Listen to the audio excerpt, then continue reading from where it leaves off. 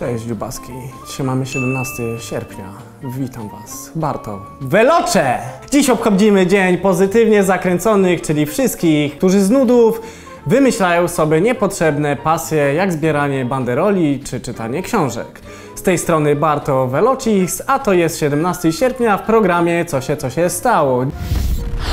Dziś imieniny obchodzą Bartram, Eusebiusz, Jeczewój, Liberat, Rogat, Rustyk, Rustyka, Septym, Septymiusz oraz patron sekcji LGBT, czyli Zawisza. Zacznijmy od kartki z Polski. W 1649 roku powstanie Chmielnickiego. Została zawarta ugoda zborowska. Dzisiaj ugoda zborowska jest, gdy Zosia Zborowska da ci mecza na Tinderze. Może wtedy dojść do powstania Weloczego. W 1968 roku Andrzej Stelmach jako pierwszy Polak przekroczył granicę 8 metrów skoku w dal. Jesteśmy światową potęgą w skokach. Skoki w dal, skoki na nartach, ale przede wszystkim skoki w bok. W 2015 roku w wyniku suszy stan wody Wisły w Warszawie spadł do najniższego od końca XVIII wieku w wysokości 51 cm.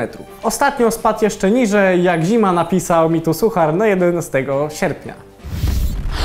Zobaczmy, co się, co się stało na świecie. W 1945 roku ukazała się powieść Folwark Zwierzęcy George'a Orwella. Jest to ulubiona książka wszystkich wegan.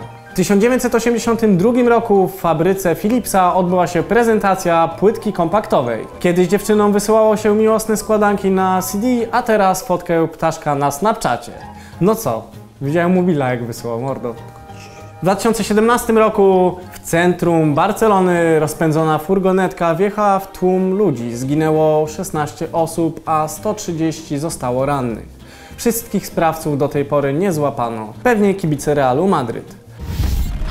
Czas na przegląd urodzonych 17 sierpnia. W 1629 roku urodził się Jan III Sobieski, król Polski. Rzadko się widujemy, ale będzie go pewno w moich kieszeniach. W 1943 roku Robert De Niro, amerykański aktor, reżyser i producent filmowy, otwarcie mówi, że chce dać Trumpowi wpysk. Obydwaj mają doświadczenie w ringu, więc na więc na co czekamy jeszcze? W 1960 roku Sean Penn, amerykański aktor, reżyser filmowy, największy ziomek El Chapo. W tym samym roku urodziła się Natasza Urbańska, polska aktorka, tancerka oraz piosenkarka. Fu! A jak jesteś wielbicielem rolowania jak Natasza, to Allegro ma coś dla Ciebie, mordko. Roller do masażu zadziała na pewno lepiej niż taplanie się w usranej łazience. Natasza, jak oglądasz to sobie kup, bo ja już mam. W 1986 roku rudy gay, amerykański koszykarz, czarny, rudy, no i gay. Gorzej w USA chyba się już nie da. W 1989 roku Robert Lewandowski, siema Robert, amerykański koszykarz pochodzenia polskiego. Kurwa zima, co ty tu napisałeś? Dziś urodziła się również Ewelina Tomecka, Dubisz. Nie wiem co lubisz, ale wszystkiego najlepszego. Leci do ciebie.